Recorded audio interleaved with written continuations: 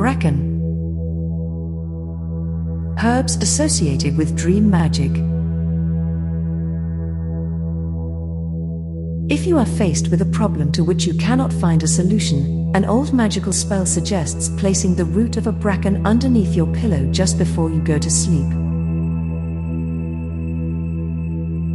Occult folklore holds that the root of this plant will bring forth a dream that will contain the answer you seek. In addition, Many witches and other magical practitioners use bracken for protection against evil and negative influences.